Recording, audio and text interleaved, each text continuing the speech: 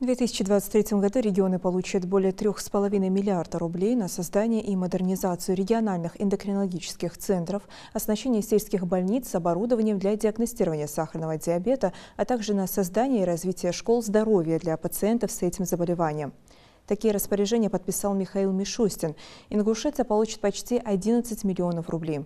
Работа ведется в рамках федерального проекта «Борьба с сахарным диабетом», реализация которого началась в 2023 году.